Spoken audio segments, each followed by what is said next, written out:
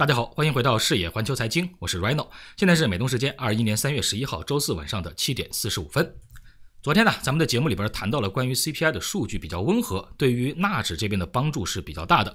今天市场的纳指这边表现也是非常的给力啊，领涨市场，而且呢是成功的站上了第二个压力位。咱们一会儿来看一看关于这个指数的运行状况。另外呢，今天还要去关注一下其他的一些基本面啊，给大家带来一些更多的关于全球央行的一些消息。另外还有就是关于大家比较关心的，呃，关于说基建股这边是不是会存在一些机会，哪一些是值得布局的，他们的点位。位又是什么样呢？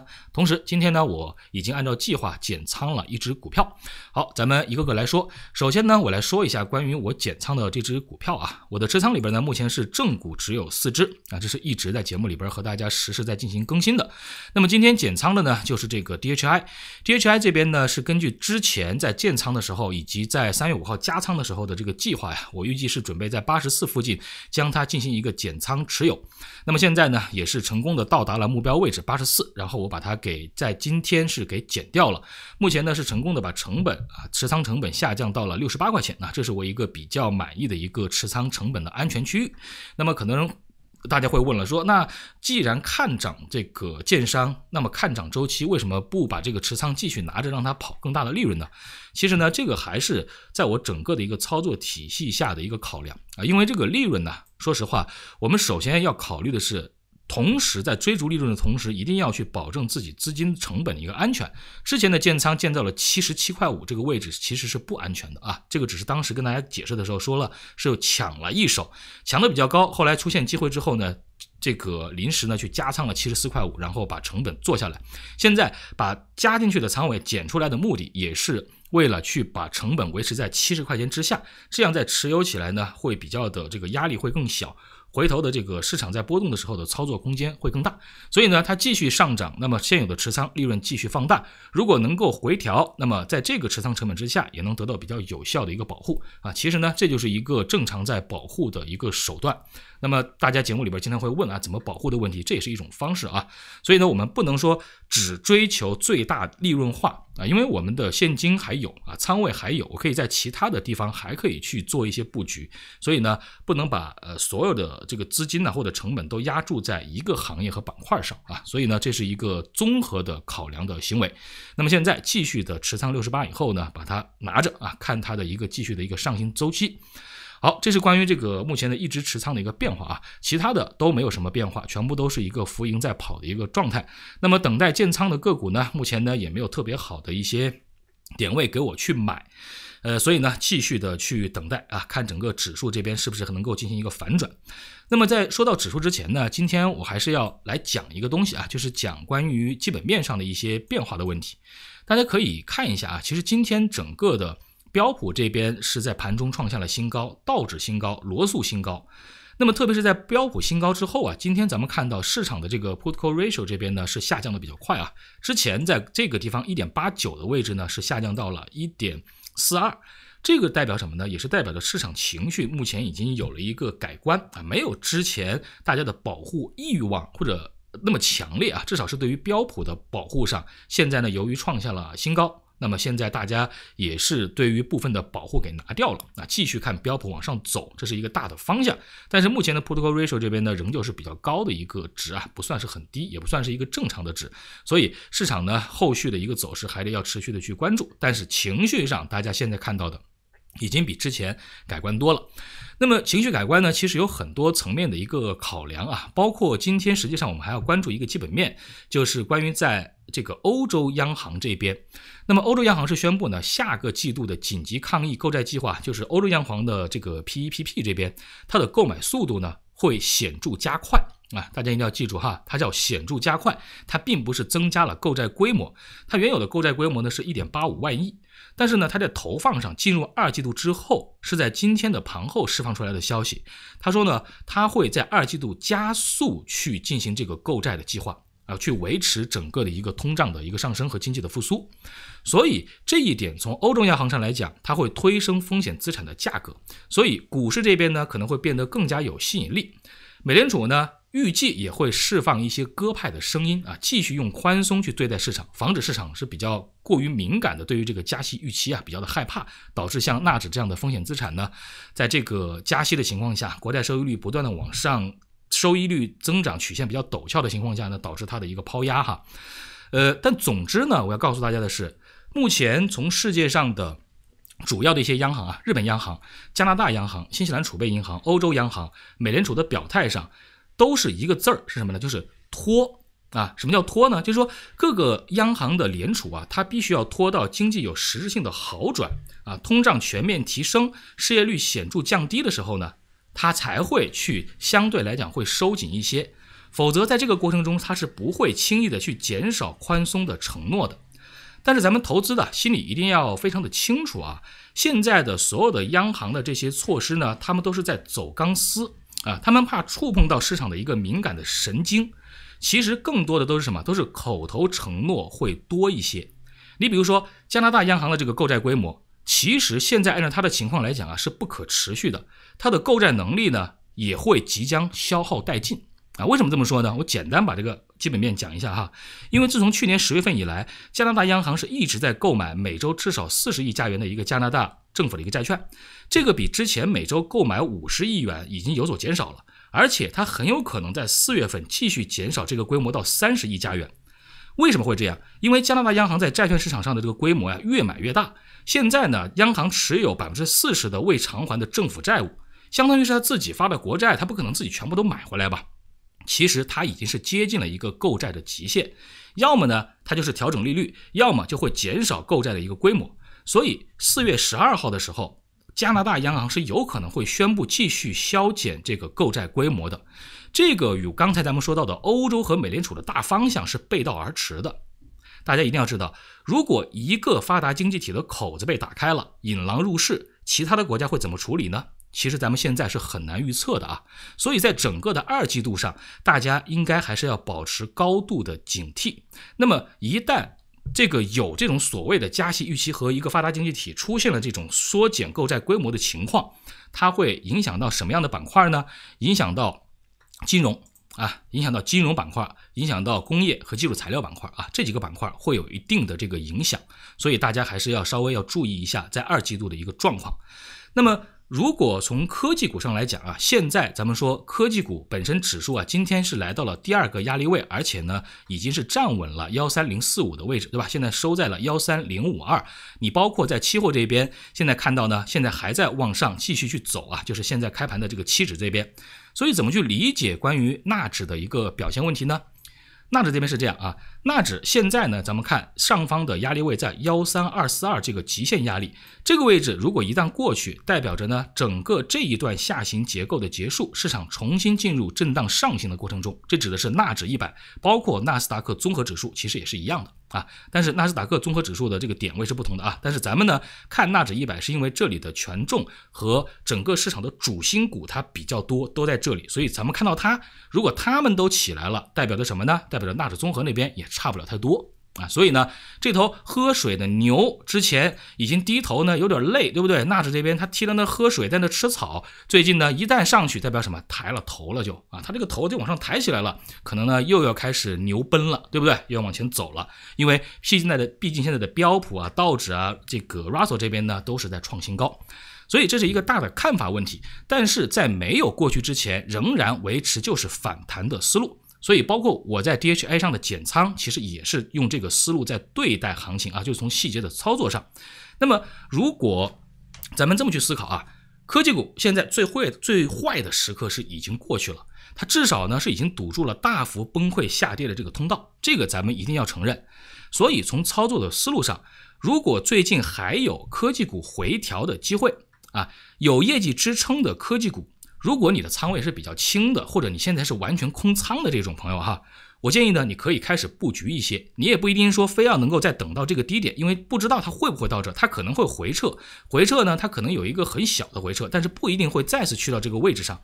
所以呢，如果大家啊已经是这种呃空仓的，或者仓位非常非常轻的，那么你呢可以去向下有回撤的机会，就稍微的去布局一些些。那么，如果你在前几天和我一样跟随我的这个节目的建仓的节奏啊，我不是已经建仓了吗？都是在这个基本上就是跌的那几天的底部这个地方，对吧？星期五左右建的仓嘛。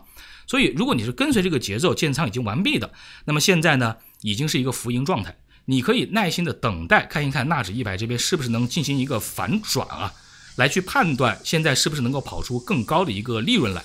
那么大的方向现在仍旧是不要去追高，不要去快速的提升你的一个平均成本啊，还是应该以低吸为主。另外呢，最近的市场啊，呃，还有一个话题是什么呢？啊，这是一个关于纳指的一个大的方向问题啊，这个我就简单给大家说完了。另外呢，呃，最近大家可能关注的比较多的是一件事儿啊，就是说关于现在讨论的这个关于基建的这个问题，就说有没有什么基建股啊？因为可能美国在五月份呢会有一个基建的计划。那么有没有可能在这个基建的周期来临之前去布局一些基建股呢？那么基建股的选股问题应该怎么去选择呢？啊，今天呢，我在这个地方给大家啊进行了一些这个简单的挑选，给大家举几个例子啊。首先，如果你是想去做这个基建周期的朋友呢，那么你有几个考量，要么你不会选股票，你就去选这个 ETF。那么现在和 ETF 这边和基建这个贴的最紧密的是什么呢？就是这个 ETF 啊，就是 IFRA。但是它呢是一个非常非常小规模的一个 ETF，而且呢它里边呃它的成分股呢都是一些中小盘股为主，因为整个的其实基建行业里边它就没有什么太多的大块头啊，都是比较小的，而且呢都是那种行业专业领域比较高的这种股票，所以呢你可以去选择它啊，但是呢思路上我要告诉大家的是，现在在基建这边已经涨了很高了，你不能去追啊，千万不要去追。为什么不能去追？因为在基建股的成分股里边，实际上很多是属于 Russell 的股票，他们的这个业绩啊，很多会在一季度的时候财报的时候，一季度财报季的时候会非常的难看。为什么？因为一季度的时候，现那个时候正好是基建比较慢的时候，正好是这些供应呢，这些材料啊比较这个当时这个空档期，冬天了嘛，冰天雪地的，你怎么搞基建，对不对？它虽然有些订单进来，但实际上从交付上来讲，它没办法交付的话，它也没法收到钱的啊。所以呢，在一季度的财报上，很多都会非常的难看，这是大家一定要知道的。所以在基建这边。它只有两种可能性，第一种就是市场压根就不管什么财报不财报，就是去打五月份的这个预期，而且预期非常强烈，那么大家呢就直接买买买就买上去了，对吧？这是一种可能性。但这种呢就是纯属就是炒消息，就是买消息。那等到五月份真的是基建呃落一落地讨论法案，它还得一段时间吧？五月份、六月份、七月份，它一落地，它叭价格就掉下来了，是吧？所以如果你要现在去追呢，你要考量的就是啊，那这个地方我追上去以后。它会不会掉头的问题，会不会由于财报的问题导致它整个的 ETF 掉头？你要考虑的。所以安全的你要基建的买入的位置，ETF 啊，仅以这一只 ETF 为例，是在下方的这两个位置，三十一到三十二块二和二十八到三十块一，这是比较安全的啊。相对来讲，即便是一季度财报业绩。不好，出现了 ETF 整体的回落的情况，那么大概就是在这两个位置啊，它不会跑得特别远。再加上有一个基建的预期，除非呢美国政府这边突然又说了啊，基建不搞了，对吧？我们搞别的去，那就是大家被忽悠了呗，那就没有办法了，那叫做压住信息，压住失误了啊，那就没没辙，是吧？但是呢，我们说，呃，从基建 ETF 上，如果说你说，嗯，那我可能 ETF 上觉得慢啊，或者觉得这个没有什么把握，我更愿意研究个股。这里呢，我有三只个股啊，拿出来跟大家来这个分析一下它们的点位。呃这个 CAT，CAT 呢本身就是我准备要去做的啊。CVT 本身是属于工业股票嘛，它也属于这个基建概念嘛。你它做那个工程机械的，有基础建设施建设的，它肯定是也是一个直接的最上游的一个受益者嘛。再加上全球本身也都有这种。呃，这个经济复苏的预期，对于工业需求啊，呃，建筑建筑的这个工程机械的需求啊也比较好，所以 CAT 最近走的也特别的稳啊，走的特别的好，基本上没有给太大的一个回调区间给咱们去做。所以呢，这个 CAT 这边我是一直想建仓，对吧？我只能去等，因为它的业绩现在只能支撑到这儿啊，只能支撑到幺五三到幺五六，但是它的价格跑到了两百之上，那我怎么办呢？没有办法，我就为了安全起见，我只能去等待它啊。同样，这只股票还是在这两个位置的这个建仓的挂单啊，仍旧是没有改变，幺九二、幺九八和幺七七到幺八零这两个位置附近，两个区间，这个里边就可以去买入和加仓了。这是 CAT 之前讲过的。那么还有两只新的股票，这两只股票呢也都不算是特别冷门的股票啊，实际上市面上做的人也非常多啊。一个就是 SUM，SUM 呢是做水泥的啊，大家想想，基建一旦做起来，两大块啊，水泥钢筋嘛。混凝土嘛，几个这是最大的一些基础材料的东西，对吧？你不能这，政府干基建，这个修路架桥不能靠木，全靠木头吧，对吧？木材它会是一部分，但是不是主力嘛？肯定是以水泥、以钢筋为主。所以呢，就衍生出来这两只股票。这两只股票呢，是因为我挑选过了，告诉大家他们的业绩是怎么样一个变化啊，是我比较呃看得比较清楚的，所以我跟大家分享一下。这个 SUM 呢，做水泥的，它的估值现在只是二十二到二十六啊，也是跑得比较快，因为最近的市场预期比较好嘛。所以呢，整个它现在的问题在哪里呢？在于一季度它就是我刚才说过的那种，可能会财报非常差的那种啊，它还有可能财报会出现亏损的。在一季度 Q 一的时候啊，现在尽管它是年度都是盈利状态，但是 Q 一是一个特殊的周期性的季节，对它来讲做水泥的，所以呢，它是会出现亏损的。那么如果在这个亏损预期下，相当于 Q 一的财报一旦出来之后，它的价格势必呢会受到影响。所以它现在在 Q1 财报出来之前，它涨不涨，我真的没法确定。但是 Q1 财报出来的时候，它肯定会往下掉啊。如果它一直往上走的话，肯定会往下掉啊。Q1 财报因为是一个很明显的一个亏损预期，所以在这个问题上，它是不是一个长线的基建可以去配置的呢？你要如果打这个基建周期，比方说两年的基建周期，你完全可以啊，你可以去做，但是也是要到下方的这个支撑位置等待，要给一些耐心。这个耐心怎么看待呢？首先。就是第一是这个二十七点五到二十八块五的这个地方，这是一个很弱的支撑啊。这个地方稍稍往下一掉就能掉到这个地方来，它并不是一个很强的支撑。比较强的是在二十三块三到二十四块五这个区域和下方的十九块三到二十块五这两个地方，只要你进去了，只要你在这个地方去拿做这个基建没有问题。你包括你就做它普通的这个基建周期，不是大周期，做普通的房地产，对吧？房地产我们说现在北美房地产都比较火吧，所以你就做这个也没有问题啊。在这两个阶段。下方的这两个位置去都没有问题。如果你是比较着急的人，对吧？你说你炒股就是比较着急，你你这个等不了，那你就在这个弱支撑位置去打一个小底仓、观察仓一类的，对吧？下方再去慢慢补，这个也是可以的啊。所以呢，这是对于 SUM 的一个考量。然后呢，是对于 X，X 呢做钢铁哦。首先它的问题就更加的这个简单了。X X 呢，现在是一个年度亏损状态啊，所以它没有办法给到估值。但是为什么它又说你不是说过没有估值的年度亏损的，它这种就不好吗？没有业绩支撑吗？那问题是它的最新的一个季度的财报啊，公布的财报里边是已经实现了这个扭亏为盈的啊。大家知道扭亏为盈的整个的 EPS 是为正的。那么预计呢，Q1 的盈利会大幅增长，X 啊，Q1 就是下个季度的财报会大幅增长。所以呢，它才值得什么呢？它是一个上升的一个通道里边，所以才值得去做。但今天你看消息，其实整个市场上已经买的很强烈了啊，已经涨了百分之七了，对吧？所以后面这个价格还又有点远了。那么它的支撑的合理的买入价格应该在十八到十九块五这个位置，实际上就是在前几天，大概在两个星期前的这个横盘区域，你看他们去了这个地方，最低是十六块一嘛，十六到十七块五和十八到十九块五的这个震荡区域是一个比较不错的。那么预计呢，它如果回调啊，能去到哪里呢？大概是二十周啊，二十二十二十日的这个移动平均线这个地方。大概就是在十八块钱左右，十八十九左右，所以这个地方就可以去做了，好吧？所以这是对于 X 的一个考量啊，这两个都是属于基建相关概念的，你都可以去考量去做。三只股票啊，卡特彼勒 CAT，然后 SUM 和 X，包括上方的 IFRA，大家都可以去考量一下。好，这个呢就是我今天啊节目带给大家的这个全部的内容。非常感谢大家的这个收听和收看啊！这个今天呢，因为我这个在现在录节目的过程中啊，这个外边在割草啊，我们家在割草，所以呢，呃，这个可能有点吵，大家请多多包涵。好，呃，那咱们今天节目就说到这儿了。咱们看看这个指数这边今天能不能够在周末之前一举去突破这个上方的这个压力啊？看一看它到底有没有这种啊，咱们说牛啊能够苏醒啊，牛啊能够再次站起来。如果可以的话，那我相信目前的这个整个大环境啊还是比较有利的啊。无非就是让大家要记住二季度有可能会出现的一些在部分国家的一些小的一些变化。好，这个就是咱们今天节目的全呃全部内容，非常感谢大家的收看和收听。那咱们今天节目到这儿，咱们就下期再见。